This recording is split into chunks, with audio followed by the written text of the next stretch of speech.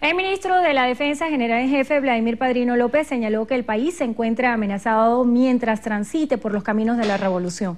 Precisó que la Fuerza Armada se encuentra preparada para defender a la patria. Durante una jornada especial del Gobierno de Eficiencia Militar en la calle, en la sede de la Armada en San Bernardino, López aseguró que el componente militar continúa elevando su apresto operacional y su equipamiento. 800 millones de dólares, dije bolívares de dólares para que la vida útil de nuestros Sukhoi puedan seguir cumpliendo o dándole la protección al espacio aéreo venezolano. Toda esa tarea que ha venido dando nuestra aviación militar bolivariana en defensa de la patria. También me acaba de aprobar la adquisición de una flota de aviones para la aviación para completar el ciclo de adiestramiento de la aviación, de adiestramiento primario, básico, avanzado.